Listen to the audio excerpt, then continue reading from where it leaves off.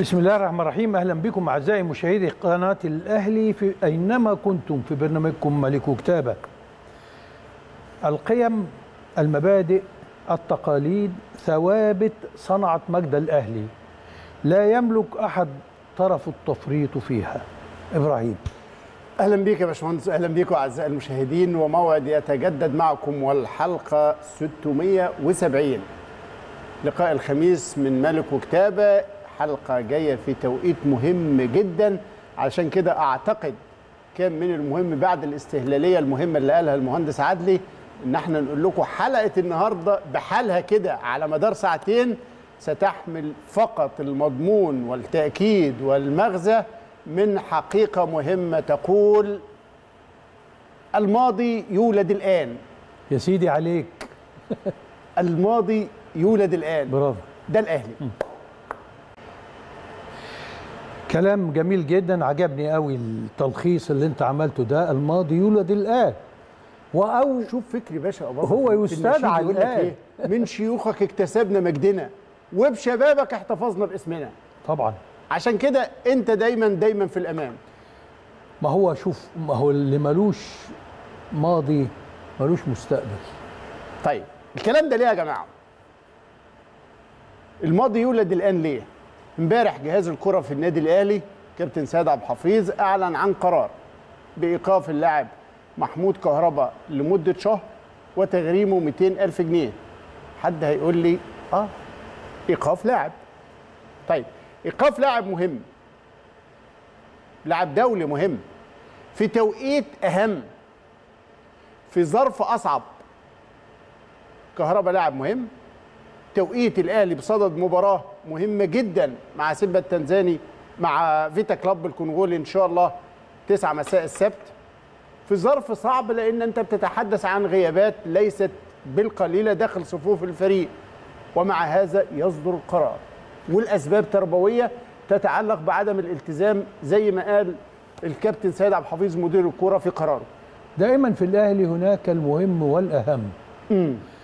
ودائما الأهم بالنسبة للنادي الأهلي النظام والالتزام والتقاليد والمبادئ والقيم اللي البعض هيتجنن كل ما بيسمعها واللي البعض للأسف الشديد وصل بيه الأمر داخل النادي الأهلي إنه يتساءل عنها. في لحظة ما خلتنا إحنا نفسنا كده نفقد صوابنا. النهارده النادي الأهلي بالمواقف اللي بيعملها بيدعم وبيؤكد إن الأهلي مش عظيم عشان بيكسب. ده بيكسب عشان عظيم. بيستمد مكسبه من عظمته. من عظمته. وعظمته اللي هي إيه؟ ترتيب الأولويات. الأولويات اللي عندي الصح والغلط. عمره ما كان في مساومة في هذا الأمر. مش اللي تكسبه العبه وده اللي بيميز الأهلي واللي بيخلي منافسيه الآن اللي كانوا ينكروا عليه كل شيء في لحظة ما يقول لهم شوفوا الأهلي بيعمل إيه وهو الأهلي بيكسب وبي بي بي بي بي الحسنيين الصح والمبدأ والقيمة والنتيجة في النهاية بإذن- اللي هي نتيجة نتيجة هذه العظمة. العظمة مش نتيجة النتائج. فطبعا الاستهلاله دي والموضوع اللي أنت بتقوله معلش هو مش لأن كهربا إحنا بنحتفي بإيقافه. بالعكس إحنا متضايقين جدا. طبعا. لأن كهربا لعيب يملك أن يكون ذلك اللا- اللاعب الذي يحدث الفارق. وأنا دايما بقول لك إحنا مش عايزين لعيب كويس. إحنا عايزين لعيب يحدث الفارق.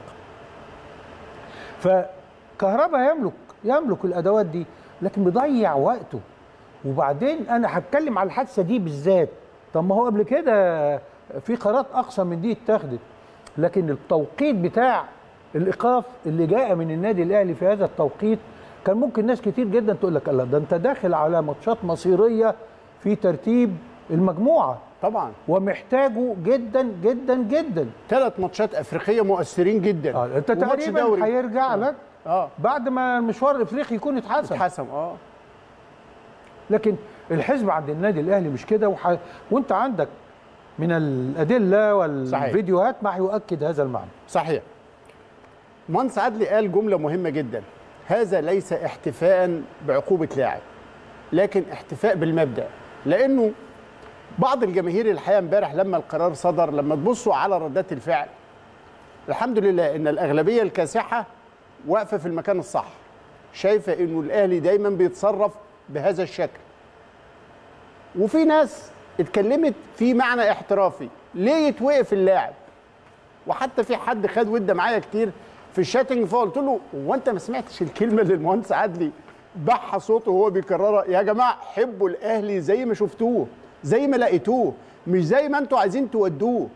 لا الأهلي بهذا الإرث اللي أنتوا هتشوفوه ما أصبحش الأهلي وما تميزش وما اختلفش وما تفوقش وما أسعدكوش إلا لأنه بيتصرف صح. الضعف مش هيجي في القرار علشان اللاعب مهم. ده كل الواقع اللي انت هتشوفوها بالمفارقة وبالمصادفة ما بتخبطش إلا في لاعب مهم جدا. هي كده. وما بتخبطش إلا في توقيت صعب قوي. وفي ظرف بيبقى صعب قوي. بس هي كده. دي منظومة القيم اللي بتحكم النادي الأهلي واللي خلته مختلف واللي خلته بطل أنتوا بتفخروا وبتسعدوا بيه لغاية النهارده. واللي الأهلي بيعمله غيره ما يقدرش يعمله. وما نقدرش نقول لغيره اتصرف زي ما الأهلي بيتصرف. إحنا قبل كده قلنا لكم كتير.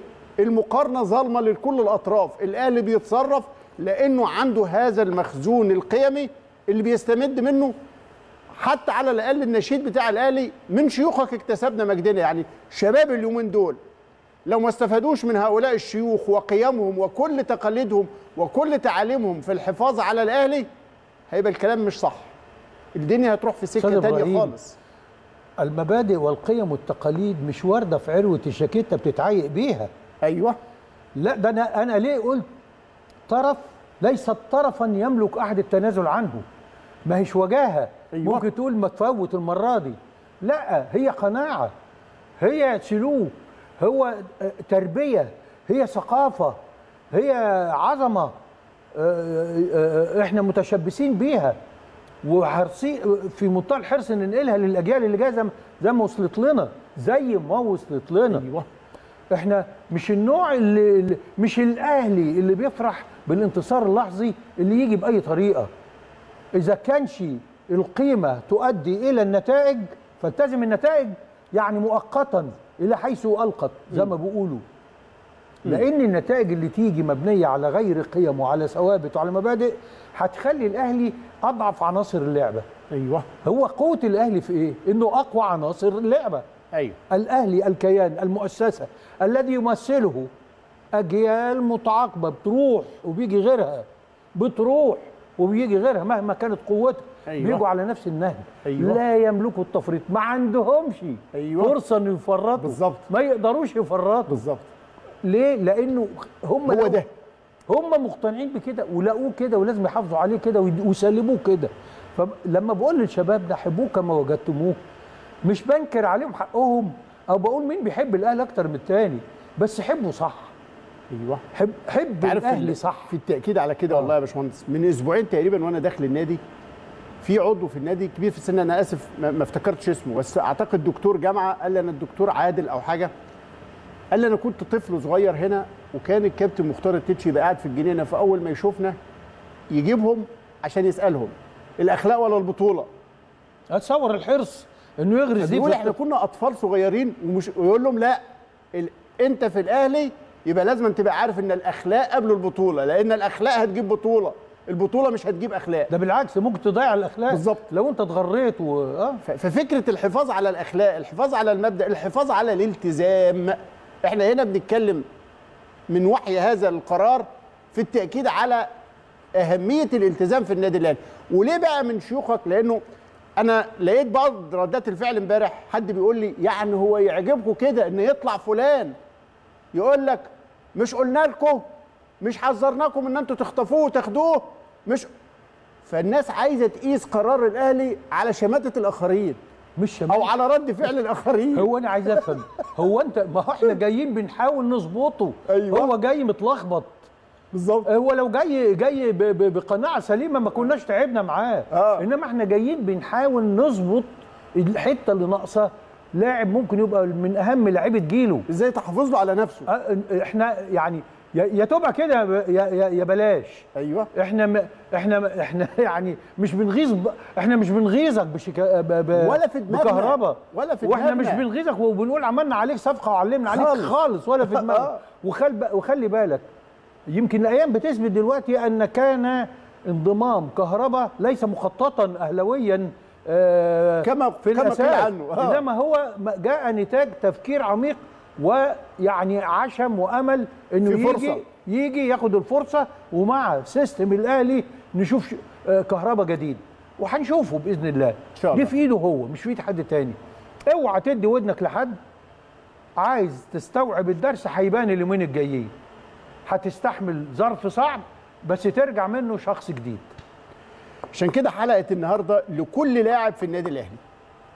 لكل لاعب في النادي الأهلي عايز يستمتع ويعيش ويستفيد من مجد العلاقة مع النادي الأهلي يقدر. لازما عشان يقدر ولازما عشان يحصل ده يعرف إنه ألف باء العلاقة مع النادي الأهلي الالتزام والانضباط والأخلاق. غير كده كائن من كان لا أحد يملك طرف التفريط في ثوابت النادي الأهلي. يعني مش على بمزاجك. مش بمزاجك. عايز تفضل هنا؟ والله أخلاقيات هذا المكان هي بهذا الشكل. ضوابط هذا المكان هي بهذا الشكل. آه، تقاليده وقيمه ومنظومته جمهوره. جمهوره اللي إحنا بنقول لهم الآن كهربا صدر ضده قرار سيبه مع نفسه بقى. الناس تنسى خالص العقوبة يتساب كهربا مع الجهاز الفني مع جهاز الكورة كل يقرر ما يراه. بدون أي اجتهادات وبدون ما نقفز على القرارات. ده كله متروك لأ... حبوا الأهلي زي ما أنتوا هتشوفوا دلوقتي. من 100 سنة إحنا جبنا لكم الحلقة اللي فاتت عشان تشوفوا ضوابط وقيم النادي الأهلي بتسمع في محيطه إزاي. هكرر لكم فيديو نجم عراقي نجم الكرة العراقية ميثم عادل. الراجل كان ضيف في قناة عجمان وبيتكلم على الأهلي المصري. بس سرد- لحظة واحدة بس. آه. ميثم ميثم عادل مش هيثم. ميثم آه بالميم. اذا أنت تقصد أن تقولها ولست مخطئا. بالظبط أيوه. يعني إيه ميثم؟ ميثم اسم عربي قديم الشخص واثق الخطوة. شديد الثقة بالنفس.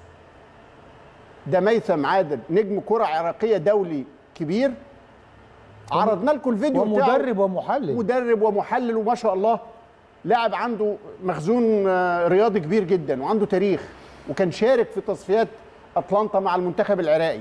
بس بقول لكم الراجل مش مصري. مش عايش الحالة بتاعت جمهور الأهلي. بس واصل له قيم النادي الأهلي وأسباب تميز النادي الأهلي. اللي هنوريكم شهادات الآخرين ومنافسيه عليه وصلت لغاية الفيفا. بس هفكركم بفيديو ميثم عادل لأنه من خلاله هنسرد قصص مهمة. وعندما نتكلم عن المبادئ والقيم لابد أن نستذكر الأهلي المصري. الأهلي المصري هو قمة في هذه المواضيع. شوف النادي الأهلي المصري في عام 1918 عندما قام ست لاعبين بالفريق بالاستقالة و- ولو ذراع لوي ذراع ال- ال- الإدارة. ماذا عمل عبد الخالق ثروت باشا اللي كان رئيس النادي في ذلك الفترة قال لهم اذهبوا حيث ما شئتم اذهبوا إحنا ما نريدكم إحنا نادي كبير الأهلي أكبر من الجميع كانت هذه أكبر رسالة يوجهها عبد الغالي في عام 1928 طيب. عندما قام حسين حجازي بعدم استلام الميدالية و و وقام بإرغام اللاعبين لاعبي الفريق الأهلاوي لأنه حصل على المركز الثاني ماذا عملت الإدارة في تلك الفترة؟ ماذا جع- جعفر جعفر والي باشا رئيس النادي؟ أوقف حسين خف حسين حجازي ومنعه حتى من لعب الك... آه، نهائي كأس مصر في, في في تلك البطولة وفاز فيها المبادئ دائما تنتصر. في عام 85 مسألة جدا مهمة وهي الجوهري عندما عندما قدم استقالته بسبب قضية محمد عباس و16 لاعب أهلاوي تكتل مع الجوهري. لكن الإدارة اللي كان في وقتها حسين حمدي آه، أو حسن حمدي في آه، نعم في تلك الفترة المشرف على الفريق قبل الاستقالة وقال نلعب بفريق الناشئين. ثم عاد الجوهري وقدم اعتذاره ولم توافق الإدارة على قبول اعتذار ال 16 لاعب ولعبوا فريق الناشئين في ربع نهائي الب... في ربع نهائي كاس مصر. فازوا على فازوا على الزمالك بهذا الفريق 3 2 وفازوا على الترسانة ثم فازوا على الإسماعيلي 1 0 في انه وحصلوا على البطولة وهنا انتصرت المبادئ والقيم. ثم نتكلم عن م- 93 94 عندما قام آه، حسام حسن في آه، آه، في مناوشة مع لاعب مع لاعب المصري ناصر التليس. ناصر التليس. شو هالمعلومات ميثم اليوم أعطي لا هذا هذا قيم ومبادئ قيم ومبادئ. طيب، نتكلم. عنها عبد الله. تدري شو سوى حسام حسن. طرد الحكم طرد الحكم طرد الحكم اللاعبين فرمى رمى خلع قميصه ورماه في أرض الملعب حسام حسن. وهو. كان أسطورة هذا. ماذا قال المايسترو صالح سليم؟ ماذا قال لآلان هاريس؟ آلان هاريس قال له قال له يا أخي نريد هذا اللاعب. هذا اللاعب مهم. نحن اليوم وضعنا غير وضعنا غير جيد في الدوري وهذا اللاعب ينفعنا في الدوري. ماذا قال صالح سليم؟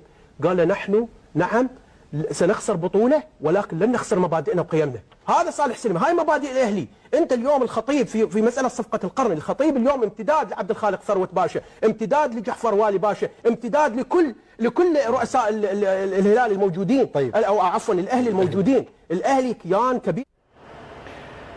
طيب. اللي سردوا وعددوا وظل يتحدث عنه الكابتن الكبير ميثم عادل ده إيه؟ هو لم يسرد بطولات، لم يسرد أرقام انتصارات، لم يسرد جون عجبه، مشاركة عجبته، مباراة عجبته، بطولة عجبته، ريادة النادي الأهلي وعدد بطولاته، إنما سرد روح الأهلي. اللي هي إيه هذه المواقف هي اللي خلت إن الاهلي له روح له طعم يستلهم ملهم يستلهم منه. خلته يعدد هذا التاريخ اللي حفظه عن ظهر قلب. هو أكتر حاجة علمت عنده هذه المواقف المتتالية في أجيال متتالية. قرارات لا يأخذها إلا الاهلي قرارات صعبة جدا لما تفكر في حينها. أنت أنت بتتكلم على ايقاف لاعب لمدة شهر وتغريمه. ده ده ده, ده إحنا وقفنا 17 لاعب أربع خمس مباريات في مشوار كأس مصر. وفي الآخر تتصور إنك تكسب كأس مصر.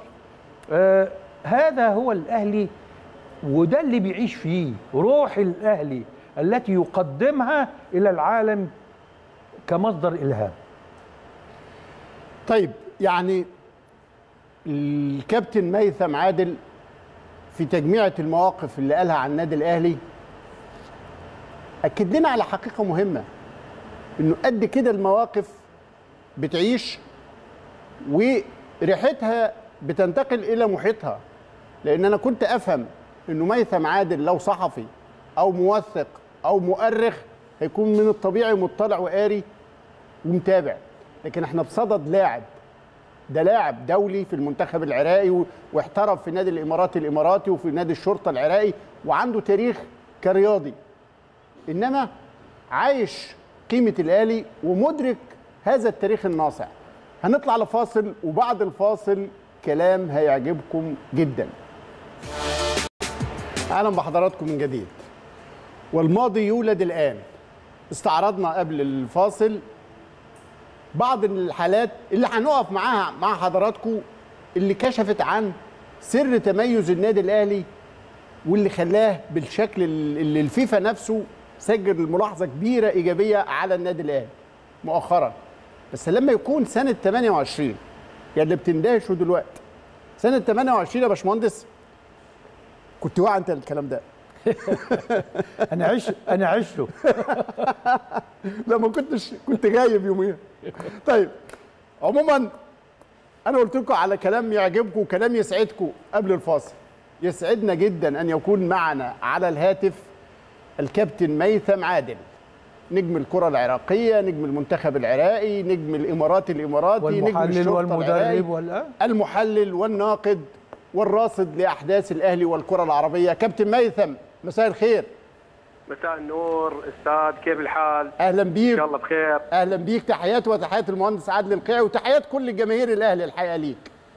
الله يسلمك أستاذ إبراهيم وأنا أتشرف بوجودي وياكم انت والمهندس عدلي وأنتم أشهر من نار على علم طبعا.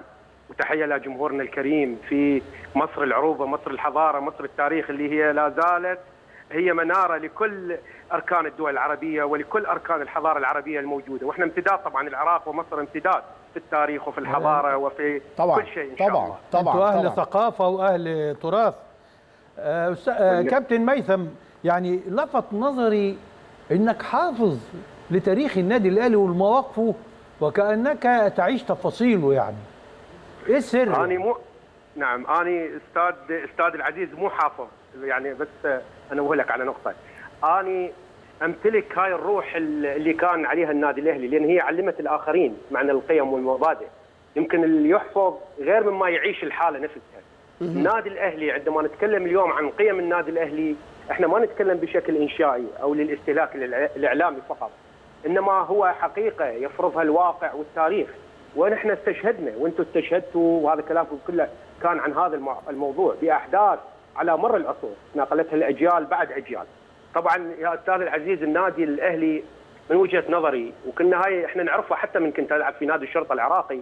يعني تعرف أنت العراق امتداد لمصر ومصر طبعاً، امتداد للعراق. طبعاً. النادي الأهلي نعم بالتأكيد. النادي الأهلي تركيبة فريدة ومختلفة عن كل الأندية الموجودة حتى في المنطقة العربية وحتى في العالم. يعني هذا يمكن كلام مبالغ فيه في بعض الناس. لا بس أنا مؤمن في هذه المسألة. لأن هاي التركيبة يا أستاذ العزيز دائما ما تكون بسيطة لمن يفهمها ويمتزج مع ثوابتها ومعقدة جدا معقدة جدا لمن لا يعرف كنها أفكارها ومغازي ثقافتها لأنها بطبيعتها راح تكون صعبة جدا عليه وبالتالي راح آه، توديه إلى أنفاق ودهاليز غير محمودة العواقب. تؤثر عليه كثيرا. في حياته المهنية أو شعبيته مع الجمهور والناس في الشارع الرياضي. وطبعا دائما ما يخرج الأهلي منتصرا في النهاية. والاخر والآخر هو الخاسر الأكبر. وهذا ما أثبتته الأيام وما أثبته الزمن طبعا.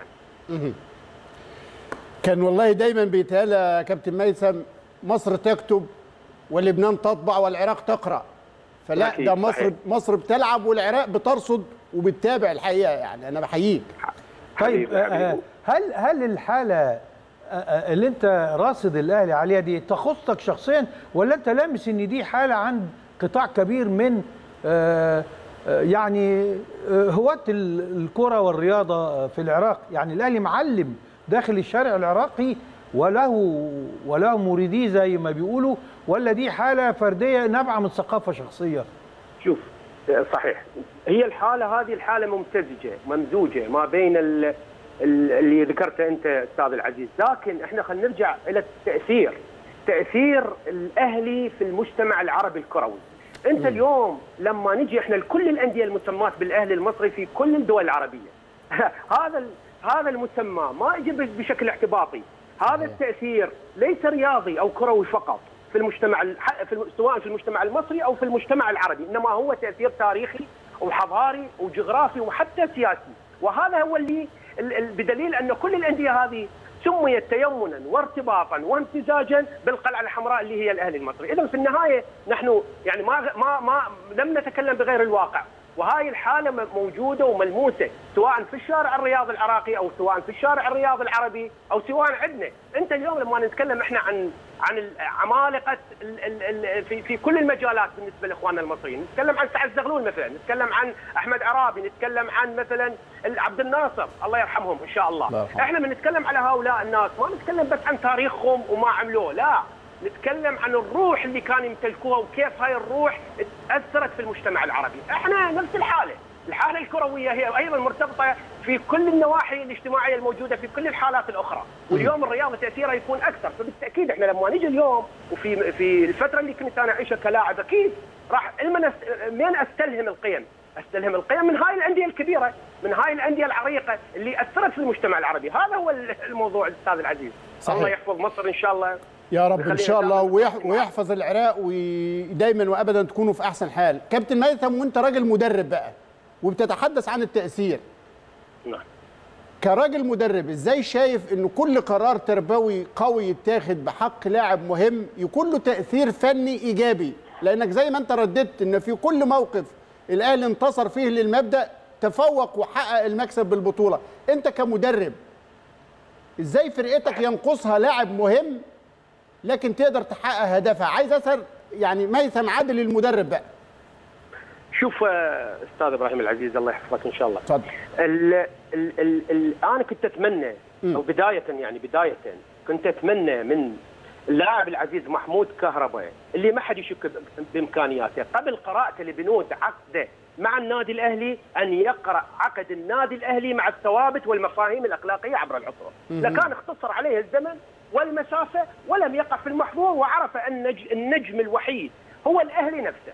وأنا طبعا ما أريد أعدد وأكرر ما قلته في يعني في أكثر من مناسبة حول هذا الموضوع. أي. لكن طبعا طبعا في موضوع آخر أيضا اليوم وسائل أنت تعرف وسائل التواصل الاجتماعي وال وال والأمور متوفرة بطريقة سهلة جدا صالح آه، جمعة أقرب اليوم مثال في في في التاريخ الحديث يعني إحنا ما. نتكلم اليوم عن حسين حجازي وما فعلوه في زمن عبد الأستاذ عبد الخالق ثروت الله يرحمه أو آه. أو أو أو إلى آخره، نحن نتكلم اليوم في العصر الحالي، أين صالح جمعة اليوم؟ لماذا اليوم هذا اللاعب اللي كان على قدر كبير من الإمكانيات الفنيه وين اليوم؟ لو كان اليوم محمود كهرباء اللاعب العزيز اللي أنا أحترم إمكانياته الفنية وأحترم وقدره لكان آه، عرف أن النادي الأهلي مختلف تماما، النادي الأهلي لا يحترف بالنجوم، ليس آه، النادي الأهلي هو النجم، وأعطيك بعد مسألة أكبر، النادي الأهلي كل قراراته كل قراراته هي عبارة عن مهر لجمهوره، الجمهور الأهلي دائما ما يقف مع النادي الأهلي، لا قله قله قليله تعارض هذه الق- القرارات ثم تقتنع، وطبعا هذا بسبب ثقافة هذا الجمهور، أنا لا أتكلم عن الشهادة، الشهادة تثبت أنك متعلم ولكن لا تثبت أنك تفهم. اذا الجمهور النادي الأهلي هو من يملك آه هذا النادي. وبالتالي قرارات قرارات الإدارة كلها كلها ب- وبدون استثناء في كل تاريخ ال- النادي الأهلي. كلها موثقة وم- وملتزم فيها جمهور الأهلي. وبالتالي قوة الإدارة اليوم وقوة هذا الكيان يأخذها من الشارع من جمهوره. وهذا هو الفرق بين آه، الأندية الباقية والنادي الأهلي المصري. هم يعتقدون إن النجم اليوم يستطيع التح- التحكم بكل شيء لكن هذا ليس موجودا في الأهلي. وأعطيك بس نقطة لا تسمح لي يعني لا تسمح لي فيها أستاذ آه. عزيز. أيوه نقطة مهمة جدا، شوف سمعت أنا حديثكم القيم أن بعض بعض الجماهير الأخرى تلوم النادي الأهلي على أنها تعاقدت مع هذا اللاعب لأن هذا اللاعب صاحب مشاكل قبل أن يأتي للأهلي. إحنا لماذا لا نشوف الأمور من الناحية الأخرى؟ حتى في هاي الناحية أقول لهم أنا إن الن- أن الأهلي منتصرا، أن الأهلي منتصر لماذا؟ لأن واجبه الأخلاقي كان عليه حماية اللاعب من الناحية الوطنية. الأهلي عندما أتى بهذا اللاعب وهو كل أزمات حاول أن يعيد صياغة هذا اللاعب، لأن هذا اللاعب مهم للمنتخب، لماذا لا نتكلم بهذا الموضوع أيضا؟ لماذا لا نقول إن الأهلي من واجبه الوطني والأخلاقي أن يحمي اللاعب المصري الكفؤ فنيا ويعيد صياغته للواجهة، لماذا نقول هذا الكلام؟ النادي الأهلي المنتخب طبعا. على هذا الموضوع. هذا اللي أريد أقوله. فمن كل النواحي من كل النواحي سواء كنت كنت مدربا كنت اداريا كنت آه، منتميا لهذا النادي الكيان هو المنتصر واللاعب اللي يخرج عن خارج هذه المبادئ أو خارج هذا السور هو دائما يعيش في الظل ويعيش وحيدا بكل أسف. توقعاتك الفنية بقى لمباراة السبت الأهلي وفيتا والله أنا توقعت شوف بس أقول لك شغلة ما عجبني المستوى في مباراة طبعا مباراة سيمبا خلي نتجاوزها خلي المباراة الأخيرة اللي شفتها مع طلائع الجيش آه. ما عجبني المستوى رغم الفوز هذا في أمور فنية لازم ال- السيد موسيماني أن يعيد حساباته فيها آه، يعطي دور كبير لأفشة أفشة كان يخرج خارج ال- المنطقة اللي هو يجيدها كان يذهب إلى الجنب ولا الأطراف وهي عملية تكتيكية شوية معقدة وصعبة في ظل ظروف يعيشها النادي الأهلي بعد مباراة سيمبا. كان الأمور لابد أن تكون بشكل أكثر آه، آه، مرونة تكتيكية وأن يعمل موسيماني على معالجة كل الأخطاء، أفشى لاعب مهم جدا، عليه أن يعطى دور كبير، عليه أن آه، يكون هو بمثابة ال playmaker أو صانع اللعب وأن لا يخرج على الأطراف كثيرا لأنه عندما يخرج هذا الأطراف على الأطراف كثيرا سيفقد كثير من امكانيه إمكانياته وتؤثر كثيرا على قيمة الفريق الأهلاوي من الناحية التكتيكية والفنية، أنا أعتقد على موسيماني أن يعيد افكاره في هذه المباراة أنت بتكرر آه، الكلام اللي أنا بتناقش فيه مع المهندس عدلي في خصوص قفشه فانت حبيبي والله. متابعنا فنيا ما شاء الله عليك.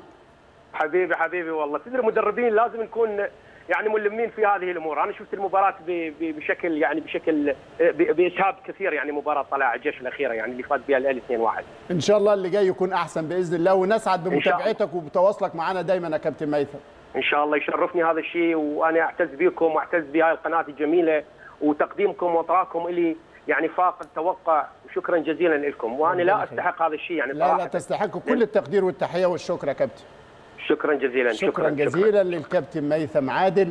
نجم الكرة العراقية والمدرب والمحلل والحقيقة يعني ما شاء الله يا باشمهندس حد راصد ومتابع بشكل جيد. وبعدين شوف بقى يتوقف عند نقط مهمة جدا. الواحد ما كانش عايز بقى يقعد يتكلم في تفاصيل دقيقة هو ذكرها. آه. يعني هم بيجي يقول لك إيه شوف ثقته في النادي الأهلي وفي دور النادي الأهلي وفي قدرة النادي الأهلي على إنه هيئ مناخ يظبط بيه أداء لاعب مهم.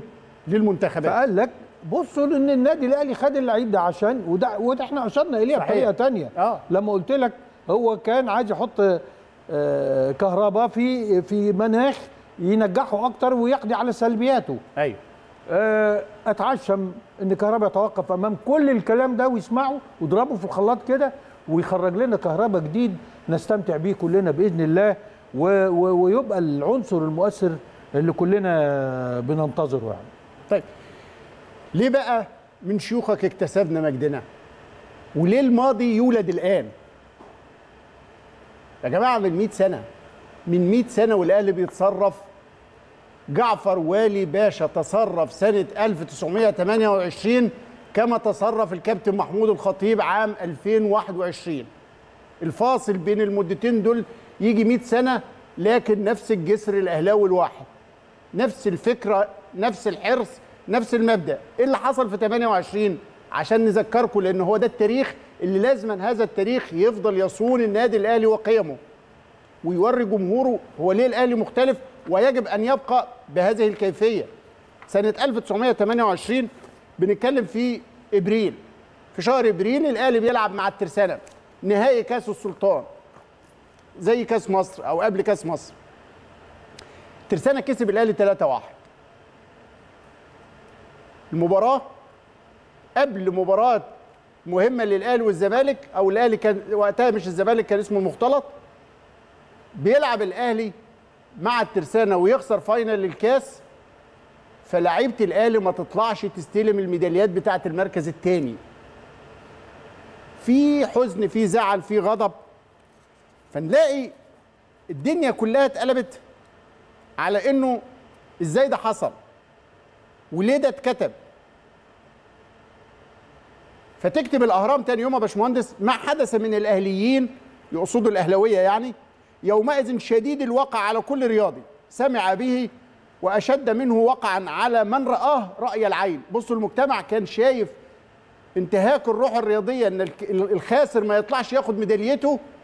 دي مصيبة سوداء فيتقال لك وقد أوشكت هذه المشكلة أن تحل بعد أن أخذت شانا كبيرا في الدوائر والمراجع العالية. فانتهى درسها الأول في النادي.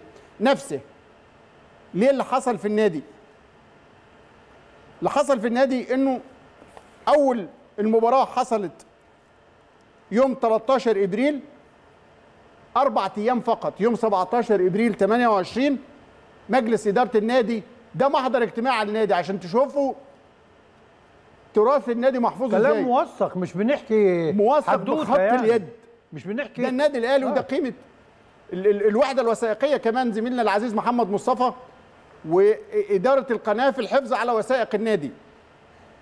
فيقول المحضر اجتمعت اللجنة العليا للنادي يوم الثلاثاء 17 إبريل 1928 تحت رئاسة جعفر وآلي باشا. اللجنة العليا اللي هي المسمى بتاع مجلس الإدارة وقتها. وبحضور كل من محمد محمود باشا فؤاد أنور بك فؤاد أباظة بك محمد صبحي بك أبو بكر راتب بك وقررت ما يأتي. علشان الكابتن حسين حجازي كابتن الأهلي وده خدوا بالكم ده أبو الكوره حسين حجازي أول حد لعب كورة وكان بيجنن الإنجليز وفرقة حجازي كانت حجازي هو- يمشي هو ورا جمهوره. يعتبر آه، حتى بعد بعديها مش قبليها كمان آه. لسنين طويلة أهم لاعب كورة مصري في تاريخه. في تاريخه. وقته وقته كده هو كابتن. الفرق. فقال مجلس إدارة النادي بقى في اجتماعه 17 إبريل بعد الماتش بأربع أيام اولا ابداء عظيم استياء اللجنة. للسلوك المعيب الذي سلكه أفراد فرقة النادي. بعد انتهاء هذه المباراة بصوا مجلس الإدارة ما بيداريش على الفرقة ما بيطبطبش. لا بيبدي عظيم الأسى والأسف على سلوك فرقة النادي. ثانيا إيقاف رئيس الفرقة اللي هو كابتن النادي حسين حجازي لمدة ثلاثة شهور بصفته رئيس الفرقة. تقع عليه مسؤولية. المسؤولية آه، في آه. كل ما حصل. شوف يعني أنت الريس ماليش دعوة بالفرقة أنت المسؤول. أنت المسؤول. لأن قال لك ما كان للعيبة إن هي تقع في هذا الخطأ. لو قال لولا. الكابتن. آه ثالثا انذار باقي اللاعبين.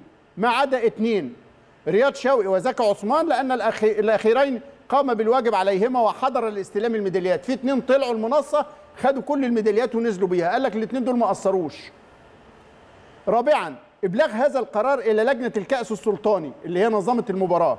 والاتحاد المصري لكرة القدم وتعليقه بلوحة النادي لمدة 15 يوم.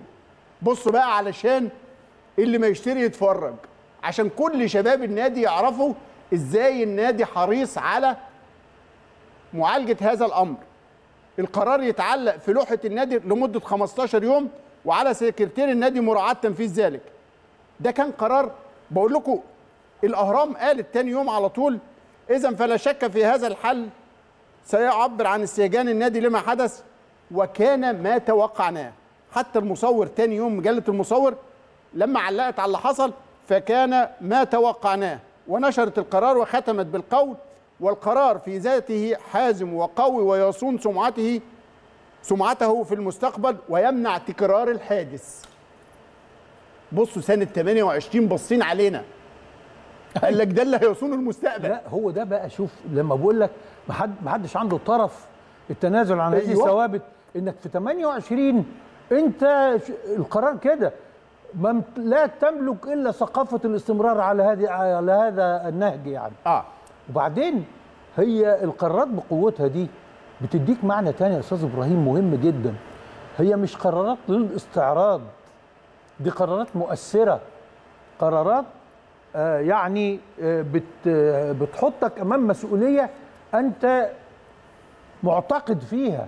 أنت هنا بتدي نموذج عملي ها أن المبدأ أهم من أي نتيجة. والمبدأ هنا إيه؟ عدم استلام الميدالية. أيوه. خرق الروح الرياضية. مش امتناع عن محدش تدريبات غلط في حد. آه يعني. محدش غلط في حد ولا حد آه، أساء اتضايقوا من لحد التحكيم فما طلعوش أو اتضايقوا من الهزيمة فما طلعوش لا يا حبيبي. الرياضة ما بتقولش الرياضة ما بتقولش كده. أيوه. فإحنا حريصين نعمل إن إحنا نوصل دروس وقيم الرياضة. عايزة مننا إيه؟ هو ده طيب. الدور الأهم. تاني يوم للمصور بقول لكم في جملتين أنا يعني استوقفوني جدا. لما تطلع تقول وكان ما توقعناه. توقعناه. يعني بصوا يا جماعة الحادثة سنة 28 الأهلي 1907 يعني كان الأهلي عمره 21 سنة. ومع هذا في ال 21 سنة الأولى من عمره مارس الاهلي من الضوابط والسلوكيات والقيم اللي خلت الصورة الذهنية عنده في الإعلام إنه لا هيتصرف كده. أيوه يتوقعوا اللي هيصدر عن قبل ما الأهلي. يصدر. آه. بصوا سنة 28 المصور تقول وكان ما توقعناه. ما توقعوش من الاهلي غير كده. ودي المصداقية. وكان لسه عنده 21 دي يا سنة. أستاذ إبراهيم المصداقية. لما. بتقول مبادئ وقيم أنت لك مصداقية أنت لا تتشدق. وبعدين يروح داخل ويقول لك القرار حازم وقوي ويصون سمعته في المستقبل. يعني بصوا اللي هيتبني عليه. قال لك يا جماعة اللي بيحصل ده هيتبني عليه. آه. ده اللي هيصون مستقبل الأهلي. ده الجمهور الأهلي بجد وكل لعيبة الأهلي في كل الأجيال. بصوا سنة 28 قرار زي ده الأخلاقي. قال لك ده اللي هيصون سمعة الاهلي في ده مستقبله الدستور الأخلاقي اللي هتمشي عليه في المستقبل. ويمنع تكرار الحادث. فاكرين في واقعة من الوقائع كان الكاس تقريبا ولاعيبه الأهلي ما خرجتش تستلم. وتعرضوا للوم. تعرضوا للوم وإحنا فاكر إن إحنا في القناة قلنا لا هذا ما كان يجب أن يحدث. لأنه هو ده القرار. خلي بالك رغم إن إيه؟ عدم الإسلام كان لأن اللي هيسلمهم أهانة النادي الأهلي. بالظبط. مش كانت احتجاجا على النتيجة. مش على المبدأ. آه. على الشخص. لكن عايز أقول لكم على حاجة. الجزئية اللي دايما أكد عليها المهندس عدلي وأنت لما تاخد قرار زي ده إيه النتيجة؟ المفروض تعرفين إنه تاني يوم القاهرة اتقلبت. لأنه حسين حجازي بيضغط ولازم يرجع. فاللجنة العليا للنادي تقول سينفذ قرار الأهلي وليذهب حجازي أينما شاء. روح مطرح ما عايز تروح فيروح المختلط يروح الزمالك يروح يروح. الأهلي لما بياخد قرار ما بيبصش للتوقيت ولا للظرف ولا للاسم. ولا ده قوته إنه ولا التداعيات ربما في الجامد. ولا التداعيات اللحظية الضيقة. لأنه حسين حجازي بيروح الزمالك بيروح المختلط ووراه فرقته المشجعين بتوعه محبيه ومريديه. يروح مطرح ما يروح. ما يرفعش الاهلي العقوبه تكون النتيجة إيه؟ إنه بعد أسبوع واحد الأهلي يواجه المختلط. خروج حسين حجازي من الفرقة خلى الأهلي يطلع ناشئ صغير. محمود مختار التتش. سمي التتش بعد كده الإنجليز شافوه زي لاعب السيرك الموهوب المهاري اللي بيتنطط فأطلق عليه التتش. لكن ده الكابتن محمود مختار. أنتوا متخيلين طلع بنهج تاني بقى خالص. نهج أخلاقي تاني. كابتن مختار يطلع من رحم هذه الأزمة القيمية. فيبقى ده قدرا بقى. يبقى هو الحارس الأمين طوال عمره على مبادئ النادي الأهلي. لأنه ولد من رحم هذه الفكرة أو هذا المبدأ. يقود هذا الناشئ محمود مختار التتش يقود الأهلي للفوز على المختلط مع حجازي. بصوا بصوا القيمة بصوا انتصار السماء للمبدأ أو للحق مش بس كده الجزئية اللي قالها المهندس عادل إنك أنت عايز تحتضن كهربا وتقوم سلوكه لخدمه المنتخب. لأنه لما اتحاد الكرة بعت للنادي الأهلي عشان يخفف الإيقاف عن حسين حجازي عشان يسافر مع المنتخب دورة أمستردام الأهلي رفض. تكون النتيجة إن هذا الحال في الانضباط الحالة دي المنتخب يسافر بيها أمستردام. فيطلع المركز الرابع في هذه الدورة. ده أفضل ترتيب لمصر كره القدم في الأولمبياد. ويسافر التتش. ويسافر التتش بس هي الفكرة إنك أنت والتتش يكون أحد أسباب تفوق منتخب تفوق مصر. منتخب مصر. وحصوله على المركز الرابع في الأولمبياد والأولمبياد وقتها هي بديل كأس العالم يعني كان كأس العالم لسه ما بدأش. فده بديل كأس العالم في كرة القدم. شوفوا قوة القرار شوفوا ضرب في مين شوفوا انتصر لإيه شوفوا النتيجة كانت إزاي. فتنجب هذه الفكرة واحد من أهم حراس قيم النادي الأهلي وده الاجتماع زي ما قلنا لكم محضر الاجتماع الثاني في 4 يناير في 4 مايو اللي قال اجتمعت اللجنة العليا للنادي يوم 4 مايو بحضور كل من فلان وفلان وفلان وكان القرار كان مع- معروض عليهم التماس اتحاد الكرة برفع ال- الإيقاف عشان المنتخب. كان القرار عدم عدم قبول إعادة النظر في قرار الإيقاف ورفض النادي الأهلي للالتماس. لا تفريط في المبدأ ولا تراجع عن قرار استند لانتصار للروح الرياضية. حسين حجازي وفرقته ما غلطوش في حد. ده انتهكوا الروح الرياضية اللي النادي الأهلي بيحافظ عليها. بصوا القيمة وبصوا الثمرة طلعت عاملة إزاي. لفت الأيام واللي أشار إليها الكابتن ميثم عادل وقعت 85 وقعت 85 اللي أدارها واللي قرر فيها واللي اتخذ فيها القرار التاريخي الصعب جدا هتسمعوه بعد الفاصل. أهلا بحضراتكم من جديد. الحقيقة فاتنا في البداية أن نعزي إلى جماهير النادي الأهلي وكل محب الكرة المصرية والكرة الأهلاوية رحيل واحد من نجومها الكبار واحد من نجوم الأهلي الكبار الكابتن محمود رشدي اللي وافته المنية بالأمس يا باشمهندس بعد رحلة مرض عنيفة شوية. رحمة الله عليه تعب في الآخر آه قوي. وكان لعيب موهوب ويعني آه طلع في زمن آه بعد الكابتن صالح سيب. آه محمود رشدي آه.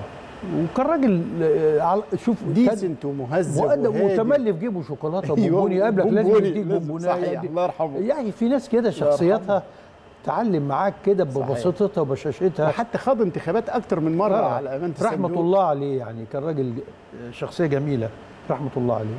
ألف رحمة ونور على كابتن محمود رشدي وعلى كل نجوم الكرة ال- وكل الرياضيين الحقيقة. وربنا يحمي البلد ويحمي كل شبابنا إن شاء الله. كنا بنتكلم قبل الفاصل في استلهام هذه القيم وهذه الدروس وكيف أن الماضي يولد الآن. كيف أن ما يفعله النادي الأهلي الآن فعله عظماء النادي الأهلي من قبل. وقفنا عند فترة حسين حجازي واللي حصل فيها وكيف انتصر الأهلي وكيف ولد العظيم مختار التتش من رحم هذا الموقف. لفت الأيام. طب أنت بتوقف لاعب وبتوقف بعض اللعيبة معاه. 85 يفاجأ الجميع بأنه النادي الأهلي بياخد قرار بإيقاف فرقة.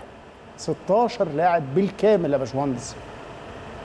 في حركة أعتقد صداها ما زال عايش لغاية دلوقتي لأنه بالمناسبة 16 ولا 17 أعتقد 17 17 بس أنت متخيل إنه في فترة حسين حجازي كنت داخل على ماتش الزمالك أو المختلط وقتها؟ في 85 برضه داخل على ماتش الزمالك لكن بتتخذ دور قرار الثمانيه لكأس مصر. بتتخذ مباراة قرار إقصائية مش بالظبط. آه يعني. ما ياخدوش إلا الأهلي. عشان الأهلي نسمع الكابتن حسن حمدي كان وقتها عضو مجلس إدارة مشرف على الكرة اتخذ هذا القرار وأدار هذه الأزمة.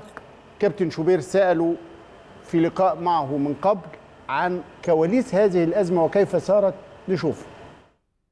كابتن حسن بالتأكيد آه، يعني الواحد لما بياخد قرار لازم يحسبه.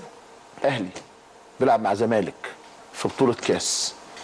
معقولة مقبولة حضرتك تتخيلك ان, إن تغضب جماهير النادي الأهلي دي كلها؟ توقف الفريق الأساسي بالكامل 16 لعيب أو تساهم في إيقافهم. والأهلي ينسحب. تقول لا مفيش انسحاب. والأهلي يلعب بالناشئين أمام نادي الزمالك. معرض نفسه لهزيمة قاسية.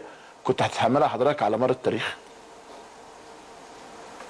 أنا الحقيقة ما فكرتش في اللي أنت بتقوله. أنا عندي مشكلة كانت. آه. كان آه، كابتن جوهري موجود مدير آه، فني. كابتن هاني مصطفى. مصطفى مدير مدير كورة. نعم. وحصل بعض من الخلافات وكده هوت وبعدين كان بكلم هو طلبني كابتن جوهري. كويس. إيه قلت له ما ينفعش اللي أنتوا يعني بتعملوه دوت هم مختلفين إيه. مع بعض. نعم. ف 16 لعيب اتمرنوا مع الكابتن جوهري بره النادي. نعم. يعني إيه بره النادي؟ أنا ما أعرفش حاجة. كنت حضرتك ماسك إيه في النادي ساعتها؟ كنت مشرف على الكورة. مشرف على عضو مجلس إدارة ومشرف على كرة القدم. وكان كابتن صالح رئيس نادي. فالمهم يا جماعة لازم ترجعوا تتمرنوا ما بيتمرنوش مش عارف إيه. قاعدين فين؟ قاعدين في آه، لوكاندا في مصر الجديدة ناسي اسمها. أعتقد كان خالد جد الله كابتن الفرقه خالد جد الله اكبر منهم. حاجة كده. كان الباقي في المغرب. قلت لهم اللوكاندا بالليل كمان. آه. قلت لهم تعالوا يا بهوت أنتوا أنتوا إيه؟ أنتوا أنتوا عارفين أنتوا بتعملوا كذا أنتوا تخرجوا مع النادي مش عارف إيه كده يعني. إزاي تتمرنوا بره النادي؟ الكلام ده غير مقبول و آه لازم ترجعوا النادي. كويس. فالمهم قلت لهم بصوا هديكوا فرصة لغاية بكرة. إذا ما جيتوش بكرة أنا هاخد قرار في هذا الكلام. أنا أول حاجة عملتها لما حصل الكلام دوت خليت مجلس الإدارة يديني سلطات مدير كورة. ما أنا مشرف على الكورة ما عنديش سلطات. آه. خدت قرار من مجلس اداره إنك ليك إن سلطات مدير أنا الكرة. آخد سلطات مدير لهم مش نعم. عايز غير سلطات مدير كورة بس. كويس. وخدت سلطات مدير كرة جبت الكابتن عادل طعيمة كان ماسك 20 سنة. مظبوط. قلت له كون 20 لعيب أو 22 لعيب. وقلت له إحنا عندنا ماتشات يبقى في 22 لعيب أو 20 لعيب أنت اللي تختارهم. زي ما بقول لك يعني هم المسؤول يعني. نعم. ودولت اللي هيلعبوا الماتشات كلها. وجبت الكابتن عادل قلت له فرقتك 20 سنة جيب على 17 و- وابتدوا يبقوا إيه 20 لعيب ولا عمل 22. كوكتيل محمد السيد وبدر رجب ايا كان يعني أنا مش فاكر التفاصيل. إيه وابتدينا نلعب ماتشات حبية. كويس. وابتدينا نلعب ال- الدوري ال- الكاس بقى. فالمهم آه، رحت لهم بقى المعسكر بنفسي. آه. دلوقتي أنتوا لو ما جيتوش هيبقى في أكشن قوي عليكم قوي يعني. وبكرة تدريبكم الساعة سي واحدة ونص أو اتنين في النادي. في النادي. تدخلوا النادي تتمرنوا. يس جم تاني يوم كويس. ما جوش. آه. رحت واخد قرار كويس بإيقاف اللعيبة ديت. بدون مجلس إدارة. آه. أداك صف... أداك صلاحيات خلاص. ما صلاحيات مدير الكوره توقف لعيب. نعم. فاما خدت كده رحت واقف إيه 16 لعيب. وعملت اجتماع مجلس إدارة بقى العرض الموضوع عليهم آه. مش الإيقاف بقى إيقاف مع شطب مع كذا حاجة. كمان؟ آه طبعا. طيب الكلام ال- اللي بيتقال ده عايزين نتوقف قدام جزئيتين مهمين جدا. إن الكابتن حسن أول حاجة كان حريص عليها إن يمشي بشكل مؤسسي. يعني بشكل هو المشرف على الكورة ما عندوش صلاحيات أكتر من إنه همزة الوصل بين فريق الكورة والنادي ومجلس الإدارة. طب هو عايز ياخد قرارات وعايز يتصرف. حس إن هو قد يضطر لاتخاذ قرار. محتاج صلاحيات. يقوم يعمل إيه؟ يروح لمجلس الإدارة اولا ياخد الصلاحيات. هو ده النظام بقى. هو ده إحكام العمل المؤسسي. ادوني صلاحيات مدير الكورة.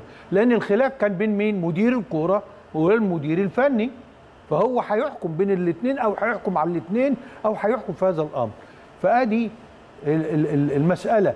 لكن نرجع بقى لبداية الفقرة والكابتن شوبير بيقول له طب أنت دلوقتي جاي قبل ماتش الزمالك في دور الثمانيه ما خدتش يعني بالك إنك أو ما عملتش حساب إنك أنت لو وقفت اللعيبة دي كان هيحصل إيه؟ وهزيمة ثقيلة وتاريخية.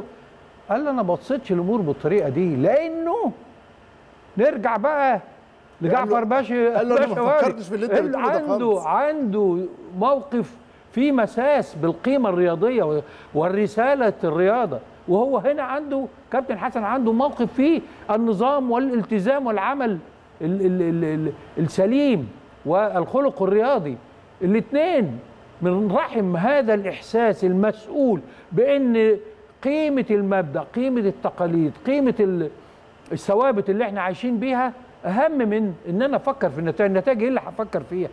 فاستطاع أن يأخذ يا أستاذ إبراهيم ما سنسمعه. كابتن حسن آه. قال لي كابتن شوبير أنا ما فكرتش في اللي أنت بتقوله ده خالص. نقطتين مهمين جدا. خالص ولا فارقه هتلاعب مين ولا في إيه. الأول خالص. الأول أنت بتاخد بتاخد قراراتك نابعة من إيه؟ من مصداقية بالظبط، الثوابت بتاعتك. ثوابتك. نمرة اتنين بشكل مؤسسي سليم. ما حدش يجي يطعن عليه. أو يقول لك هو أنت إزاي اتصرفت بشكل فردي؟ لا ده أنا عندي. ونمرة. ثلاثة مين اللي بياخد القرار؟ بياخد القرار مدير الكورة. اللي بياخد قرار كهرباء امبارح كابتن سيد عبد الحفيظ مدير الكورة. وده تعظيم لدور لائحة النادي. حتى الكابتن حسن هتسمعوه قال له مع أصل أنا أنا اللي حط اللائحة وأنا مدير كورة. فأنا عارف سلطات مدير الكورة فين. هو ده العمل المؤسسي. أنا محتاجها في إيدي دلوقتي. نشوف الفيديو الثاني إيه اللي حصل لما الكابتن حسن خد قرار كمدير للكورة بإيقاف ال 16 لاعب بل شطبهم. قال له قرارات كان فيها شطب. وراحت مجلس الإدارة نشوف الكابتن حسن وهو بيستكمل. تاني يوم مجلس الإدارة كان بعد الظهرية. آه. لقيتهم تاني يوم. آه. جم النادي. اللعيبة. اللعيبة. آه. ودخلوا أوضة اللبس. آه. بيقلعوا هينزلوا يتمرنوا. ماشي. مع. الكابتن جوهري. لا. جم لوحدهم من غير الكابتن جوهري. آه. كويس. أنا عملت إيه؟ جيت قلت لهم ولا واحد يخش أوضة اللبس. ياه. وباب النادي هنا هو في بابين هنا وهنا. يعني إيه كده. وقلت لهم أنتوا خلاص أنا ما برجعش في كلامي. وأنا عندي مجلس إدارة كان بالليل. كويس وكده أهوت. منعتهم من التمرين. ومنعتهم من التدريب. ماشي. ومشيت بالفرقة اللي هي التدريب بيها بقى. بتاعت الكابتن عادل طيب بتاع الكابتن عادل طيب نعم. دخلت مجلس الاداره قلت لهم حصل كذا كذا كذا كذا. وأنا كل اللي خدته منكم إن أنا آخد سلطات مدير كورة. وأنا الناس ديت آه، مفيش حاجة اسمها واحد يسيب النادي كذا. موضوع بقى كابتن جوهري يبقى إيه اختصاصكم أنتوا مجلس؟ الإدارة، أنا رأيي كذا بدون بقى ما أقول رأيي إيه. لا أنا ممكن أقوله؟ لا. طيب ماشي أوكي. أنا آه، حضرتك كنت عايز الجميع. يرحل. عايز إيه؟ الجميع يرحل. لا نعم. أكبر من كده. ماشي. نعم. فأنا قلت قلت لهم لا ده قراركم كده هوت. المهم يعني اتوقفوا اللعيبة. آه. وكان قرار مجلس الاداره الجوهري يرجع يعني عنده ماضي و... إلى آخر هذا الكلام. رجع الكابتن جوهري. لما نزل الملعب تاني يوم اللعيبة موقوفة وهو رجع. آه. حصلت مشكلة تانية. آه. واخد بالك؟ فجالي الكابتن جوهري. أنا عندي مشكلة كبيرة أنا مش عارف إيه. أنا إزاي يعني أنا أنزل أدرب وهم موقفين قلت له والله ده قرار كويس. آه ده قرار يعني. آه خلاص آه، كده. آه مش هرجع فيه يعني.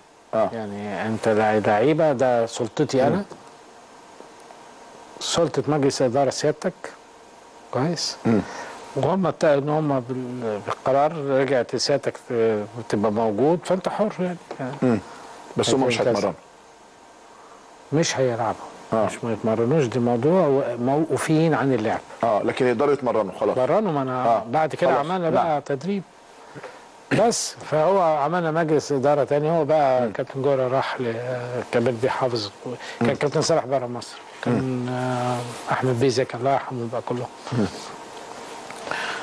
كويس فبيكلموني تقول بصوا أنا مش هرجع في أي قرار أنا خدته. دي سلطتي يعني.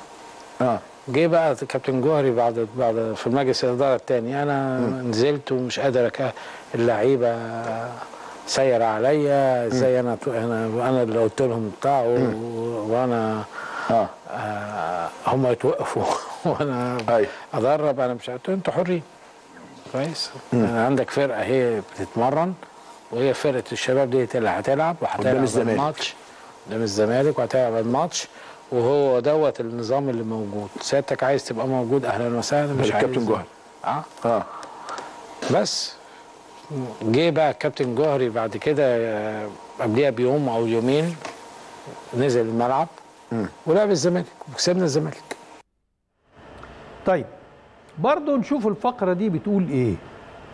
الفقرة دي بتقول إن الكابتن حسن حمدي لما اتخذ قرار واللعيبة جت تاني يوم عايزة تخش أوضة اللبس قالوا لهم رايحين دي؟ المباراة يا باشمهندس. الأهلي بالناشئين آه، آه. بيلعب عتاوله الزمالك هنيجي. بقى آه. ل- للجائزة الكبرى اتفضل إنما الأهم أنا عايز أحكي الدرس اللي قاله كابتن حسن حمدي في كل فقرة بنخرج منها بدرس كده أيوه فقال له اللعيبة جاية تاني يوم مع الكابتن الجوهري داخلين أوضة اللبس قال لهم رايحين فين يا كباتن؟ لا ما تخشوش مش هتتمرنوا كابتن إزاي مش إزاي؟ قال له انت عندك 22 لاعب مجهزهم لك الكابتن عادل طعيمة مع اللعيبة اللي هي آه، آه، يعني آه، حد كان مصاب مش ما تمرنش مع اللعيبة دي ورجع أو حاجة زي كده. وهم دول اللي هتاخد بيهم المباراة. وخد قرارك عايز تنزل تقودهم أهلا وسهلا مش عايز تنزل تقودهم مدربهم. كابتن عادل طعيمة موجود. هيقود العملية. وهنا لازم أشكر وأذكر دور الكابتن عادل طعيمة لأن التاريخ ساعات إيه يقفز على دور الناس. أيوه. الراجل ده كان مجهز فرقته كويس جدا وكان النادي الأهلي شوفوا كان بيعمل إيه بقى؟ كانوا راجعين هم كمان من معسكر في ألمانيا. أيوه. فكانوا جايين. توب فورم الناشئين دول. آه. كان فرقة 19 سنة. و و بدر رجب ومحمد السيد وعلاء عبد الصادق و و وكان كان إبراهيم حسن وإبراهيم وحسام وإبراهيم بس إبراهيم كان مصاب في الماتش ده ما لعبش ولا حسام، حد حسام منهم. اللي لعب وإبراهيم كان مصاب آه ف ف ف آه، وأعتقد الكابتن شوبير هو اللي كان آه، مين الجول؟ أحمد شوبير آه، شوبير شوبير طيب. هو اللي لعب آه جول. كابتن شوبير كان هو بس دي مش الوحيد فرقته هو أكبر منهم بس هو الوحيد. طرف في الأزمة لا ما أنا بقول لك هو الوحيد أيوه اللي, اللي كان آه، مش. طرف في الأزمة ولعب معاهم والدولين كانوا مع الكابتن وحش في المغرب بقى مع أيوة. المنتخب ويجوز هو عشان كده آه. يعني آه، المهم يعني فده اللي حصل. وكان الزمالك full team. بقيادة كوارشي وفاروق جعفر وكل العتاولة آه آه. اللي, اللي موجودين في الزمالك. آه ربنا كفأ والكابتن حسن شحاته كان حاجة يعني آه آه مذهلة إنك تكافئ بالحسنيين وتكسب الزمالك 3 2 وتكسب الزمالك 3 2 أنا هنا عايز أتوقف إن الكابتن حسن حمدي لما قال لهم رايحين فين يا كباتن؟ هو بيؤكد على المعنى اللي أنا قلته. المبادئ والقيم وال- والتقاليد والموروثات اللي بناخد عليها قراراتنا مش للوجاهة ومش وردة بتتعلق في عروة الجاكيته أيوة. لا دي هي حاجات هننفذها. مصداقيتنا جاية من هنا. عظمتنا إن الأهلي بيكسب عشان عظيم مش عظيم عشان بيكسب. فادي الدرس العملي الثاني ولا الثالث ولا الرابع اللي آه، آه، آه، خرجنا بيه من الموقف ده. هقول لك بقى تكملة من عندي كده عصرتها عشان تعرف إن الدنيا دماغ واحدة. آه عايز أتوقف بس على فكرة إن الكابتن حسن كان عايز يوقف الكابتن الجوهري ولكن آه الأستاذ كمال حافظ كان له وجهة نظر واستطاع أن يبررها إن إيه؟ إن الكابتن جوهري كيف كفاية عقوبة ليه؟ ان لعيبته تشوفه إن هو تسبب في إيقافهم وهو رجع. آه. درس تاني. أيوه. طيب أنت بقى ما تبقاش تسمع في الغلط. بالظبط. ما حتى الكابتن حسن قال لك كابتن جوهري قال لك ما يصحش اللعيبة. أنا اللي قلت لهم تعالوا. وهو قدام نفسه. آه طبعا. يعني كان كانت عقوبة قاسيه أنا رأيي دي عقوبة قاسية جدا. وده اللي خلى الكابتن صالح إنما يعني أنا ليه بذكر الكابتن عادل طعيمة؟ يعني إحنا بعد ما كسبنا كابتن جوهر راح حيا الجماهير واللعيبة شالته وبتاع. كنت أرجو أن ينسب الفضل في هذا للكابتن. عادل طعيمة. للكابتن عادل طعيمه ولا يحمل الكابتن وأنا أرجو. إن أنا أكون أنصفته بإن أنا ذكرت هذه الحقيقة. ولكن ما علينا هذا درس. الدرس الأكبر منه بقى اللي ما حدش سمع عنه. الكابتن الجوهري تصور إن كابتن صالح كان مسافر. فتصور أمور بعيدة. وهو بمعزل عن إنه هو في الصورة موافق عليها. فراح له مكتبه. والكلام من الكابتن صالح ليه؟ من الكابتن صالح. إيه بقى؟ حكى لي أنا بقى. آه. قال لي جالي الكابتن الجوهري مم. وقال لي شفت يا أبو الصلح إيه اللي حصل معايا؟ كان الكابتن صالح يحب الجوهري جدا, كان بينهم علاقة جدا قوية. آه. قال له إيه؟ قال له ابتدى يحكي له قال له عارف يا جوهري حظك حلو قوي إن أنا ما كنتش في مصر. لأن أنا كنت هسند قرار الكابتن حسن حمدي 100% وأنت ما كنتش هتخش نادي الأهلي تاني. ما كنتش هتخش النادي الأهلي تاني. ولذلك الكابتن جوهري كمل الموسم وانتهت الأمور. أنت كده فسرت لي واقعة. آه. حكاها لي الله يرحمه الكابتن سمير زاهر. آه. بعد ما المنتخب رجع من بوركينا فاسو بكأس الأمم الأفريقية. اذا بس عايز أقول لك اذا الكابتن صالح متابع ومساند لقرار طبعاً، الكابتن طبعاً. حسن حمدي. وقال له عملت إيه؟ قال له لو لو عملت غير كده كنت هزعل. بالظبط كده. آه. ف ف ف هو ما فيش حد يقدر يلف على قرار ويروح يلغيه من حتة ثانية حسن كمان قال لمجلس الإدارة ادوني سلطات مدير كوره عشان ما حدش ده أنا عضو مجلس إدارة ومنتخب. ده درس يا جماعة في العمل المؤسسي. لأنه ممكن عضو مجلس إدارة يتصور إنه لا ده أنا عضو مجلس إدارة ومنتخب من الجمعية العمومية ومن حقي أقول رأيي. ومشرف على الكورة. مشرف. ومشرف على الكورة. إنما ما عندوش صلاحية. إنما ما عندوش صلاحية مدير الكورة اللي في طب ما اللائحة تيجي نقف هنا. يوقف لعيبة. نقف هنا نفسر كلمة مشرف على الكورة بالنسبة للنادي الأهلي إيه؟ آه. إنك بتتابع وهمزة الوصل وبتساعد على المشاكل ولكن بلا صلاحيات. أيوه؟ الصلاحيه يعني في اللائحة. فهمتوا؟ وده العمل اللائحي. فهمتوا يعني إيه وده العمل المؤسسي اللي في طب الاهلي النهارده الكابتن محمود الخطيب وهو مشرف على الكورة بيروح يتدخل. ده ليه جماعة؟ لحد النهارده هو رئيس النادي ما بي... صحيح. إنما يتدخل في إيه؟ اذكاء الروح إنه موجود لحل المشاكل لكن ما ي- ما ي- ما يمليش عليهم سياسات. لعب وشيل واعمل. أنت بتقول لي كابتن صالح؟ قال لي كابتن جوري والجميع عليهم رحمة الله يا رب. قال له لو أنا موجود هتاخد اخد القرار إن أنت مش هتخش الأهلي. كابتن سمير زاهر الله يرحمه بعد بوركينا فاسو بعد 98 كابتن الجوهري جايب كأس الأمم. وطبعا كان ليها فرحة كبيرة جدا. فالكابتن سمير قال لي فكرت أحل المشكلة الأزلية اللي بين الكابتن صالح والكابتن الجوهري وفرصة إن الكابتن الجوهري الناس فرحانة بيه جدا. فراح للكابتن صالح المكتب. بعد ما بارك له كلمتين وبتاع قال له أنا عايز أجي لك بكرة ومعايا حد حبيبك ولازم تستقبلني أنا وهو. فقال له مين؟ قال له كابتن الجوهري. كابتن سمير الله يرحمه والله. قال لي كابتن صالح بص له قال له انت شربت القهوة ولا لا؟ إيه؟ شربت القهوة ولا لا؟ يعني بيقول لي أنا حسيت انه بيطردني. يعني اتكلم في اي حاجة تانية. أيوه طب لا ما كانش قال لي بيفاصل. قال لي رفض يسمع الكلام. أيوه أيوه. قال لي بقول له قال له انت شربت القهوة ولا لا؟ الله يرحمه. هي دي مبادئ الأهلي وهو ده الحرص على النظام.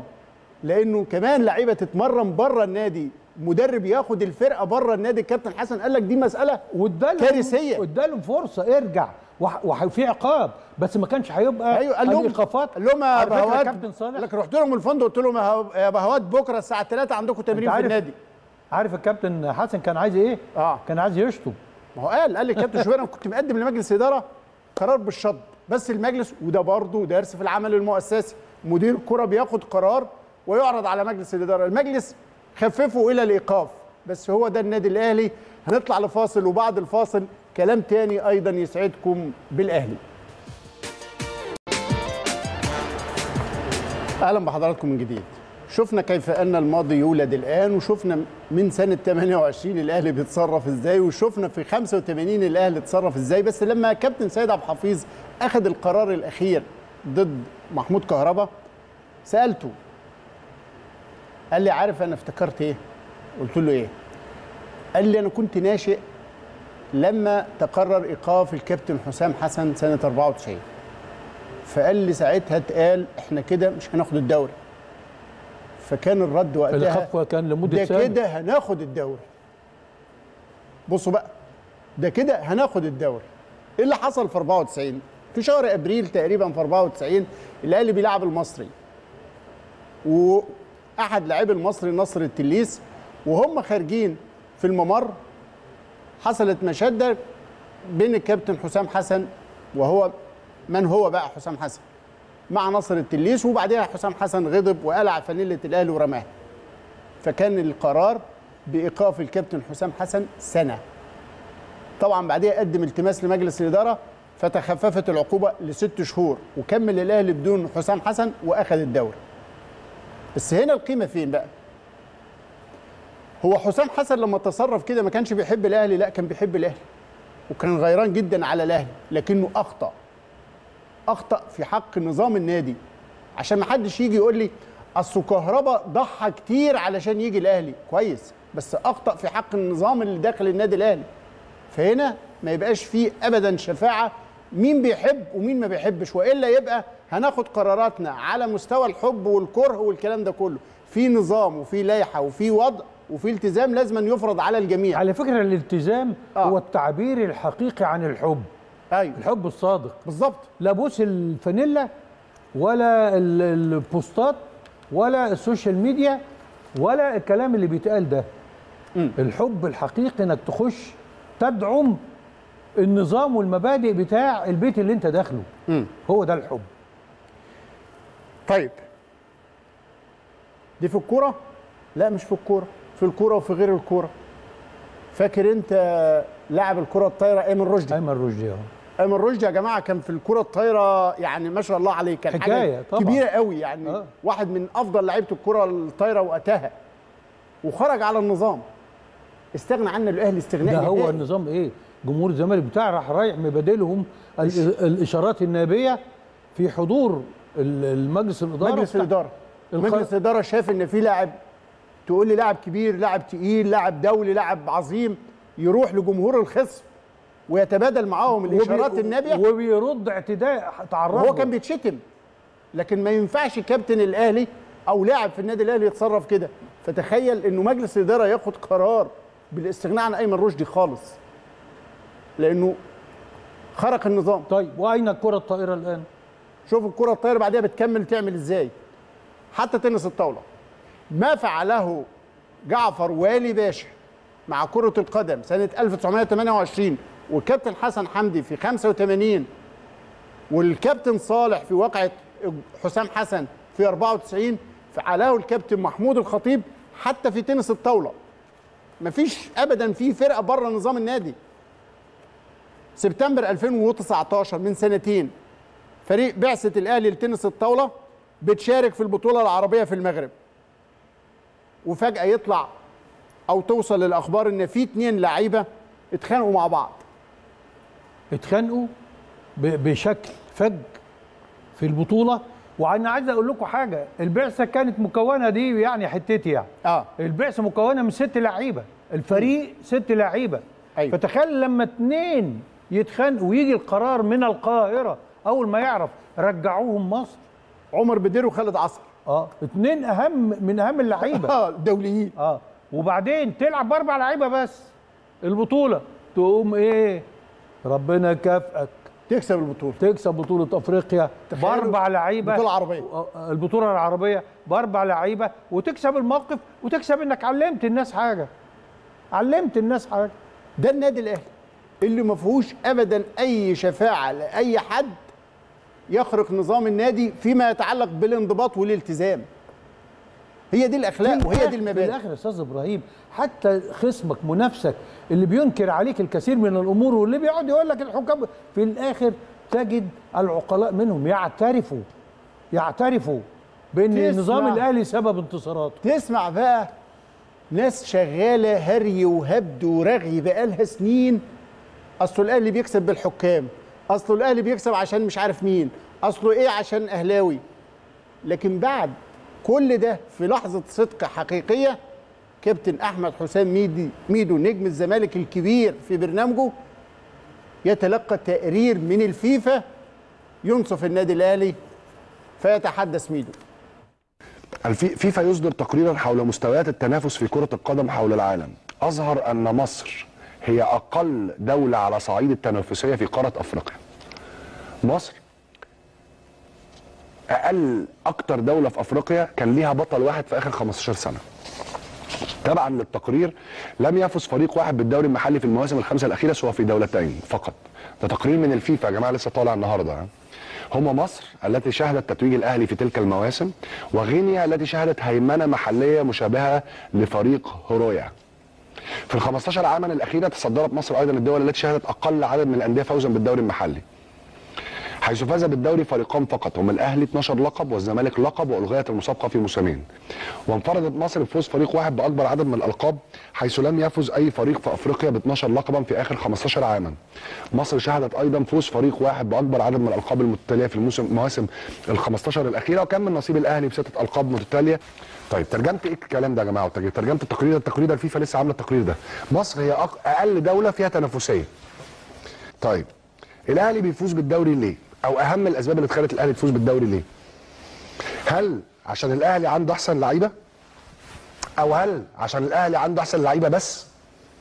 الأهلي طول عمره عنده لعيبة كويسة والزمالك عنده لعيبة كويسة ال quality الفرق ال quality ما بين الفرقتين ممكن في جيل من الأجيال يبقى هنا أزيد شوية وهنا أزيد شوية وأكبر دليل على كده إن منتخب مصر معظم تكوينه من الأهلي والزمالك بلس المحترفين دلوقتي صح طيب السؤال المهم والكلام اللي بيقوله الكلام ده راجل زملكاوي أهو.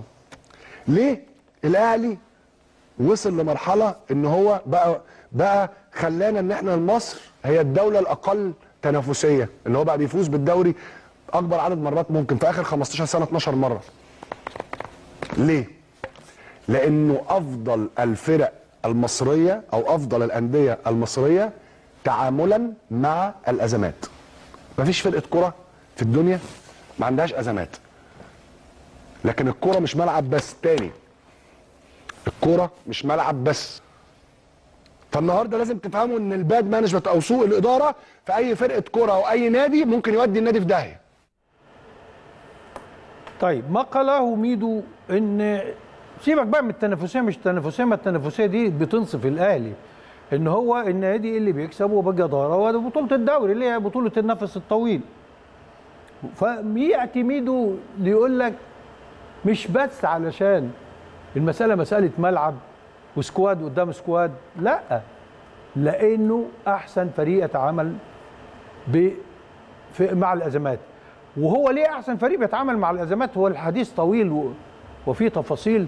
لكن أقول لكم أنا وأنتوا عارفين على فكرة من غير ما أقول لكم لأنه النادي اللي عنده دستور في التعامل قيمي بيرشده يا أستاذ إبراهيم إيه الصواب في كل موقف. فبيتخذ القرار السليم. لما تتخذ القرار السليم أنت تتخذ القرار العادل اللي ما يقدرش حد يقول لك من اللعيبة اشمعنى دي. فتفضل عندك فرقة أهم من الفرد. أيوه. وإحنا نعم. بالمناسبة يعني. يعني إحنا. ال- ال- ال team work الف- الفريق أهم. الاهلي فوق جميع أبنائه مصلحة الاهلي فوق جميع ولاده. المصالح الضيقة التي تحكم آه، الأفراد داخل هذه المؤسسة العريقة اللي بتقدم وبتلهم العالم كله زي ما شفنا أستاذ آه، آه، ميثم. إحنا دلوقتي إذا اعتراف وحتى هو له بعد كده لا تقولوا لي بقى الدولة والتحكيم سيبكم بالكلام ده هو كده. الكتالوج اللي ماشي عليه النادي الأهلي إنه عمل مؤسسي لا يعترف ب آه، يعني العواطف أكتر ما يعترف بالنظام. اذا هي الإدارة. وحتة التنافسية أنا بس ليها تعليق لأنه ربما البعض يفسرها إنه الدوري ضعيف. فعشان كده في آخر 15 سنة زي ما ميدو قال وحسب الفيفا ما قال إنه في آخر 15 سنة الأهلي بياخد الدوري 12 مرة. والزمالك مره أو طب وال وال- مرتين. 12 سنة اللي قبليهم. طب ما تيجي أقول لك في ال 15 سنة دول درجة التنافسية الأفريقية بقى ما تطلع لي بره النطاق المحلي. إيه التنافسية الأفريقية؟ في, في ال 15 سنة نفس الحقبة الزمنية اللي تقرير الفيفا استند عليها وعد البطولات المحلية والدوري فيها اللي ميدو اتكلم عنها التنافسية القارية الأهلي رقم واحد على أفريقيا في ال 15 سنة. لأنه الاهلي في ال 15 سنة الأخيرة ديت مدة التقرير الاهلي واخد دوري اولا واخد 13 لقب أفريقي. 13 لقب أفريقي للاهلي في آخر 15 سنة هي المدة الزمنية محل التقرير بتاع الفيفا.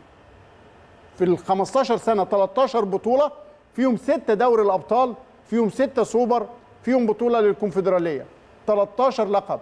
يجي بعد من الأهلي في دوري الأبطال مازيمبي عنده ثلاث ألقاب في ال 15 سنة الترجي عنده ثلاث ألقاب وكل من صن داونز والوداد والترجي و آه، أو ال- الوداد آه وفاق سطيف والنجم الساحلي كل واحد من دول عنده لقب والزمالك في دوري. الأبطال. الزمالك أول ألقابه كانت آخر ألقابه في 2002 خد بالك؟ لا الكونفدرالية اللي لا أنا بكلمك على دوري الأبطال. آه الأبطال. دوري الأبطال ستة أهلي ثلاثة مازيمبي ثلاثة ترجي واحد صن داونز واحد الوداد واحد النجم واحد وفاق سطيف والأهلي ستة أقرب له مازيمبي ثلاثة الأهلي ستة. وعشان كده حتى. التنافسية القارية يميدو إبراهيم. تنصف الأهلي وإدارته.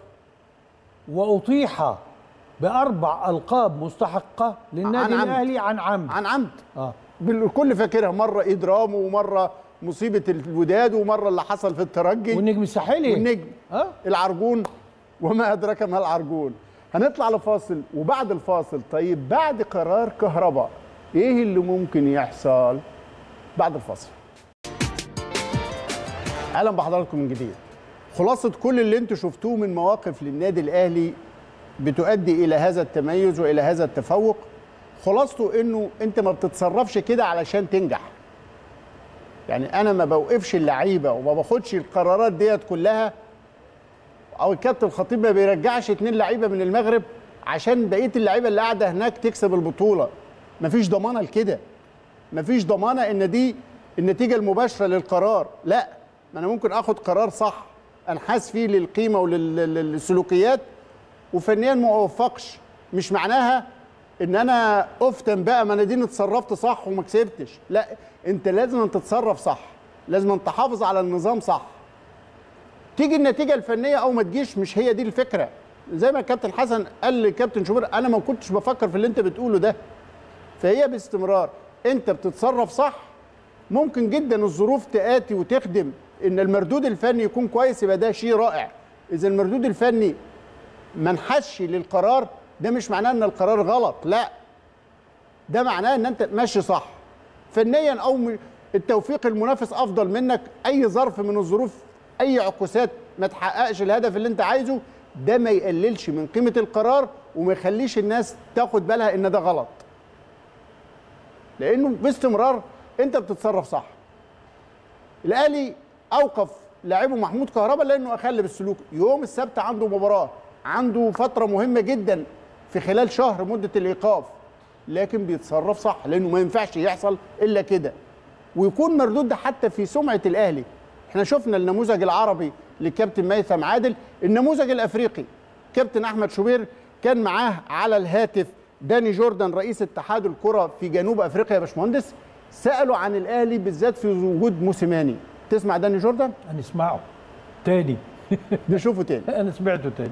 ده عايز بس الأول آخد انطباعك عن تواجد بيتسو موسيماني آه، في مصر كمدرب ومدرب لواحد من أكبر وأهم الفرق في المنطقة كلها النادي الأهلي هذا الانطباع عندكم معناه إيه؟ نحن في غاية السعادة حقيقة عندما جاء اليوم الذي أيضا آه، خاصة عندما لعب الأهلي في كأس في الأبطال في الإفريقيا وتحت قيادة موسيماني أمام الزمالك. و وأدى وفاز النادي الأهلي باللقب. و وانتهت المباراة بفوز النادي الأهلي. ومن ثم أعتقد بأن النادي الأهلي آه، فريق متميز ولاعبيه متميزين وأتمنى له كل التوفيق والتقدم وخاصة بعد فوزه بالميدالية البرونزية في آه، كأس العالم للأندية. آه، هل أصبحت شعبية الأهلي أكبر الآن في جنوب أفريقيا؟ وهل تابعتم كأس العالم للأندية؟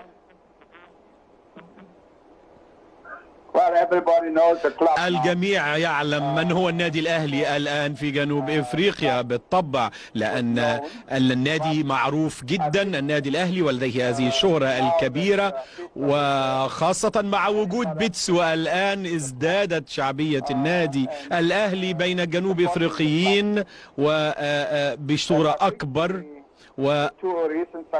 وبالتالي أعتقد أن النجاحات التي حققها موسيماني تؤكد بما لا يدعو مجالا للشك بأن النادي الأهلي هو نادي القرن ونادي القارة الإفريقية على الإطلاق تلك النجاحات التي تعكس هذه آه، المهارة وإلى عقلية اللاعبين وقوة النادي الأهلي في القارة الإفريقية و وأيضا عندما فاز الأهلي ب- على بالميرس و- وفي دوري أيضا كأس العالم للأندية ووصل إلى هذه الدرجة من الاحترافية an indication. كان يمثل ذلك درسا لكرة القدم الإفريقية آه، بين أندية العالم على الإطلاق نفس الكلام يا أستاذ إبراهيم نفس الكلام تسمعه تسمعه من ميثم تسمعه من داني جوردن الأهلي وقيمة الأهلي ومؤسسية الأهلي وشعبية الأهلي وحسن تمثيل الأهلي لقارة أفريقيا وكلام كله عن قيمة النادي الأهلي وقيمة مدربه وإزاي إنه عمل نقلة نوعية للمدرب الإفريقي على مستوى العالم. لكن الخير بما يشهد به منافس ما تقدرش تقول إنه هو بيحبك أو ما يعني طول عمره شايفك إنك أنت زي ما الناس كلها بتقول لا أنت واخد أكتر من حقك و و و. شوف ساعة الجد بيقول إيه. أحمد جمال. كل المدربين المصريين دائما وابدا ما بيقعوا في فخ النادي الأهلي في اللحظات الأخيرة لأن بصراحة شديدة جدا ومحدش يزعل مني من أي مدرب بيقدر يوصل مع النادي الأهلي إلى نتيجة التعادل أو الفوز في اللحظات الأخيرة. أنا آسف جدا في اللي هقوله. ما بيعرفش يتعلم من دروس التاريخ في لقاءات النادي الأهلي. والنادي الأهلي وشخصية النادي الأهلي وأنا أتكلم بصراحة شديدة جدا في ظل غياب عبد الله السعيد عن النادي الأهلي وفي ظل غياب شريف إكرامي وأحمد فتحي وحسام عاشور ورمضان صبحي وفي غياب وليد سليمان للإصابة وفي غياب علي معلول للإصابة وفي غياب نجوم النادي الأهلي لأسباب فنية أو لرؤية فنية من قبل موسيماني يفوز النادي الأهلي. دي الثقافة بتاعتهم اللي بيدخلوا على أساسها بيلعبوا في النادي الأهلي تتفق مع بعض. الأمور تختلف. أنا بتكلم دلوقتي على شخصية الفريق. شخصية الفريق البطل. نفس اللعيبة اللي في النادي الأهلي اللي هي كانت موجودة وكان منهم احتياطي في النادي الأهلي أو كانوا نفسهم يروحوا النادي الأهلي. النهارده بيلعبوا أساسي. محمود وحيد بيلعب أساسي النهارده في النادي الأهلي. قفشة جاي من إنبي ومن بيراميدز ومن تجربة آه إن هو يجي يبقى نجم النجوم في النادي الأهلي. محمد هاني السوليه جمع الإسماعيلي آه أجاييه. ايا كانت الأسماء اللي بتلعب محمد شريف جاي من إنبي. ايا كانت الأسماء اللي بتلعب طاهر محمد طاهر جاي من المقاولين هو بيخش ينخرط في ال system اللي معمول. ال system ده أصلا هو فلسفة النادي هو شخصية الإدارة اللي موجودة هو مدير كورة هو الفرقة متفقة على كده هو في لعيبة بتقول إحنا رجالة نازلين ناخد الثلاثه point يبقى ينزل ياخد الثلاثه point. وربنا بيكرم على قد النية وعلى قد اللي أنت نفسك تعمله لإسعاد جماهيرك. هو ده السيستم وهو ده الأهلي وهو ده النظام وهو ده الاعتراف في لحظة صدق. ما هو ده الجميل في الموضوع. يعني أنت تفضل تسمع يعني مكابره ومهابره واتهامات باطلة. لكن لما تنتفي علاقة وض- وضغوط ال- العلاقة تظهر الحقيقة. هي دي. تظهر الحقيقة الجلية اللي تنصف الأهلي من الزميل أحمد جمال بهذا القدر وسيستم الأهلي ونظام الأهلي. ياك يفتكر كده بعدين بس. هو ده النادي الأهلي يا جماعة. هو ده النادي الأهلي. ولازم تفخروا إن أنتوا أهلاوية. ولازم تسعدوا إنه النادي الأهلي منذ منبته حتى اليوم ينحاز للقيمة والقيمة والمبدأ اللي بيحققوا كل المكاسب. إن شاء الله تعالى كل التوفيق التاسعة مساء السبت للأهلي أمام فيتا الكونغولي. الأهلي عنده ثلاث نقاط متساوي مع فيتا. مباراة رايح. جاي. يعني هنلعب مع فيتا ثم نسافر بعديها عشان نلعب فيتا هناك. يا رب بإذن الله تعالى كل التوفيق للنادي الأهلي. دمتم للأهلي دائما. ودام لكم الأهلي بإذن الله تعالى بطلا شامخا وعلى خير نلتقي مساء الاثنين القادم إن شاء الله. تصبحوا على خير.